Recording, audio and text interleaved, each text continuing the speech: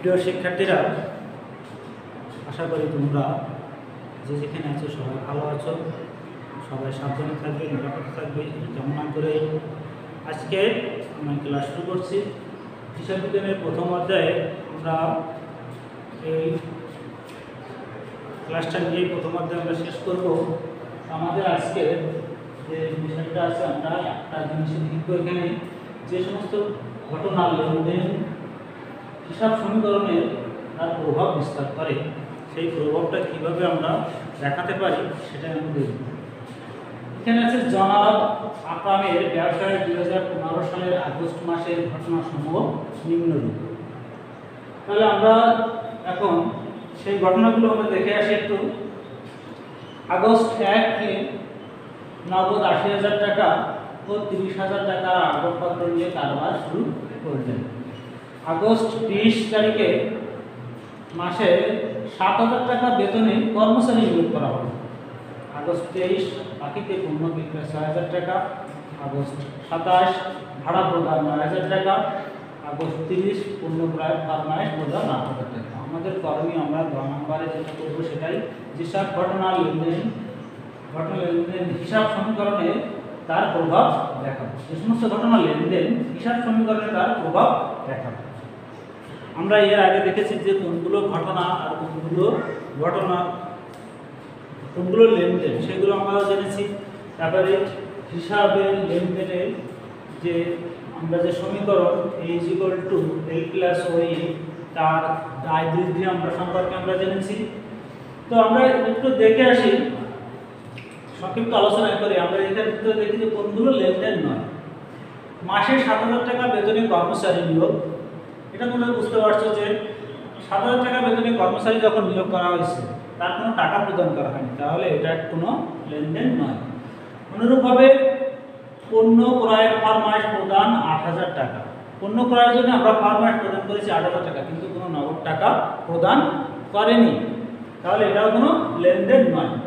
আমরা সংক্ষেপে দেখি যে এখানে নগদ আশি হাজার টাকা হাজার টাকা আবহাওয়া নিয়ে কারবার শুরু করলে? তাহলে এখানে কি রায় বৃদ্ধি হয়? নগদ টাকা বৃদ্ধি পায় আশি হাজার টাকা, তাহলে এ বৃদ্ধি পাচ্ছে। নগদ টাকা বৃদ্ধি পাইলে সাথে সাথে কি আমার মালিকানা সত্ত্ব বৃদ্ধি পায়।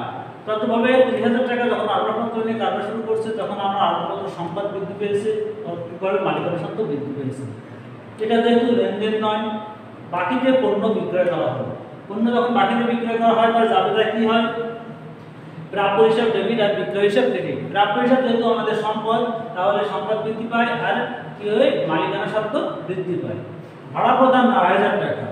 ভাড়া যখন প্রদান করা হয়, তখন নগদ টাকা চলে যায়, তাহলে তার জাবেদা কি হয়? ভাড়া হিসাব ডেবিট আর নগদান হিসাব ক্রেডিট তাহলে নগদ টাকা কমে যাওয়া মানে কি? সম্পদ কমে যায়। আর যেহেতু সম্পদ কমে যাচ্ছে, আর অধিক ভাড়াটা কি? আমাদের ব্যয়। তাহলে আমাদের মালিকানা সম্পদ, মালিকানা সত্ত্বের ভিতরে কী ছিল? মূলধন, আয়, ব্যয় আর উত্তোলন। তাহলে বলছি আমরা যে ভাড়া প্রদান তাহলে ভাড়া প্রদান আমাদের ব্যয়। তাহলে এটা আমাদের কি হবে? মালিকানা শর্ত হ্রাস পাবে, তাই না?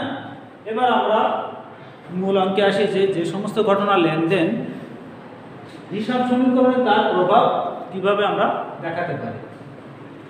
আমরা যখনই অঙ্কটা করব তখন আমরা দেখব যে এখানে কোন সম্পদের ভিতর কী কী জিনিস আসতে পারে, সম্পদগুলো আমরা এক লাইনে না লিখে যেগুলো সম্পদ আছে, সম্পদগুলোকে সহজে আলাদা আলাদা করে দেবো। নগদ একটা সম্পদ আগরপত্র একটা সম্পদ, তাই না? যেহেতু বাকিতে পণ্য বিক্রয় করা হচ্ছে, তাহলে প্রাপ্য হিসাবে এটা একটা সম্পদ। আর দায়তে কী থাকে? দায় আছে দুইটা, ঋণ, প্রদয় হিসাব, আর কি? মালিকানা সত্ত্ব। ঠিক আছে? এখানে যেটা রয়েছে, মালিকানা সত্ত্ব। তো আমরা প্রথমটা দেখি, আগস্ট এক তারিখে নগদ আশি হাজার টাকা এবং তিরিশ হাজার টাকার আসবাবপত্র নিয়ে কারবার শুরু করলেন। তাহলে এর জাবেদা কি আমাদের আমরা আগে জাবেদাটা একটু দেখি। নগদান হিসাব ডেবিট আসবাবপত্র হিসাবে ডেবিট আর মূলধন হিসাব ক্রেডিট তাহলে নগদ আমরা নগদের ঘরে লিখছি, আসবাবপত্র আসবাবপত্র লিখছি যেহেতু মূলধন আমাদের কি মালিকানা সত্ত্ব, তাই মালিকানা সত্ত্বের ঘরে লিখেছি। ঠিক আছে? এবার আগস্ট বিশ। মাসে সাত হাজার টাকা বেতনে কর্মচারী নিয়োগ। যেহেতু আমরা এটা পূর্বে আলোচনা করেছি, এটা কোনো লেনদেন নয়। তো এবার আমরা দেখি তেইশ তারিখে কী হয়েছে বাকিতে পণ্য বিক্রয় ছয় হাজার টাকা। তাহলে ছয় হাজার টাকা পণ্য যখন বিক্রয় করি, তখন আমাদের জাবেদা কি হয়?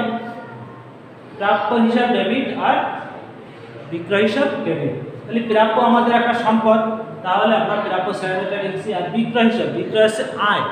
তাহলে আমাদের মালিকানা সত্ত্বের ভিতরে ছিল কি আয়? তাহলে এখানে ছয় হাজার টাকা আমরা মালিকানা সত্ত্বের ভিতরে অন্তর্ভুক্ত করেছি।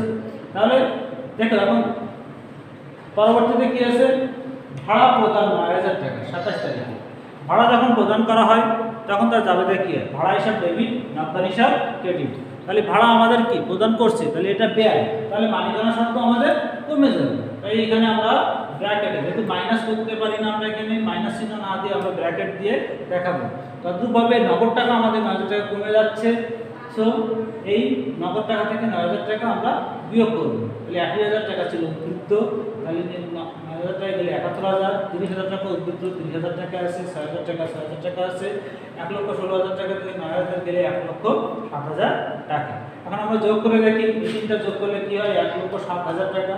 আর এখানে তো এক লক্ষ সাত হাজার টাকায় আছে। তাহলে আমাদের দুই পাশ সম্পাদ সমান সমান আমরা কি বলেছিলাম? দায় প্লাস মালিকানা সত্ত্ব তাহলে সেই আমাদের যে সমীকরণটা ছিল সম্পদ ইজ ইকুয়াল টু দায় এল প্লাস ওই মালিকানা সত্ত্ব সেটা আমাদের ঠিক আছে, তাই না? তো প্রিয় শিক্ষার্থীরা, তোমরা যে যেখানে থাকবে, সামাজিক দূরত্ব মেনে চলবে সর্বদা। ভালো থেকেও এই কামনা করে আজকে আমাদের ক্লাস এখানে শেষ করছি। সবাইকে অনেক অনেক ধন্যবাদ।